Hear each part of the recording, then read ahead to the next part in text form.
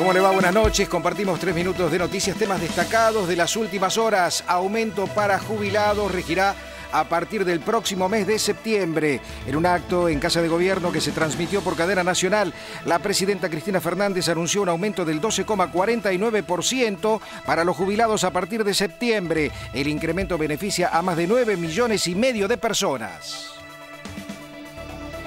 Tenemos que el haber jubilatorio mínimo con este aumento de 3.800 21 pesos pasa a 4.299, casi 4.300 pesos en nuestro país, la República Argentina. Tu país, la cobertura para nuestros mayores es de carácter universal, 97%. Bueno, pero debo reconocer que esta semana eh, hemos batido récords en materia de originalidad, en materia de denuncias eh, porque desde lo que parece ser eh, la casa eh, de una diputada nacional, también candidata a presidenta, casi un aguantadero, porque uno ve eso y dice, ¿cómo alguien, yo no sé, yo no sé, pero yo en mi casa jamás jamás metería a alguien que está procesado por narcotráfico. Y además, si lo meto, seguro que me meten a mí también, este, porque, por cómplice.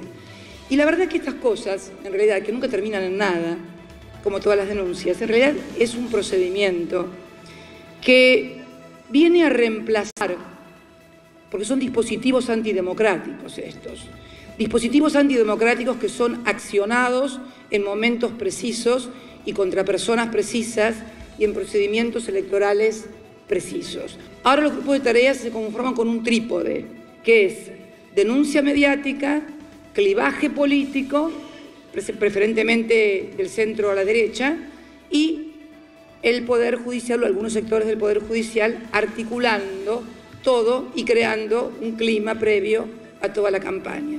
Finalmente quiero decirles a todos esos que pensaban que yo iba a ir como diputada del Parla Sur o diputada por la provincia de Buenos Aires, o candidata, gobernadora por fuera. Mira, acá estoy sin fueros. ¿Sabe por qué? Porque no le tengo miedo a ningún juez pistolero, mafioso ni extorsionador. Otro tema, hace instantes en el Gran Rex, el precandidato gobernador de la provincia de Buenos Aires por el Frente para la Victoria, Aníbal Fernández, cerró su campaña de cara a las pasos del próximo domingo. Pues tal la discusión de un proyecto político con carnadura, con condiciones bien claras y potentes, representándola a todos, pero con el pueblo adentro, o nos servimos para una mierda. No tenemos nada que hacer en la política y no hay mañeto que nos cambie. Nos pegan en los tobillos, nos van a tener que matar, pero nos vamos a seguir levantando y le vamos a dar pelea todos los días. La, la derecho de nuestra sociedad bonaerense no los van a negociar. No nos van a hacer decir lo que quieran. No nos van a hacer agachar la cabeza por más que nos peguen en las rodillas. Nosotros, como eje de discusión, llevamos por delante la tarea de la inclusión. No comprendemos las formas de otra manera. Y ellos, en este régimen que han inventado, lo que pretenden es hacernos tomar la sopa cuando se les antoje. Ni lo sueñen, ni lo sueñen.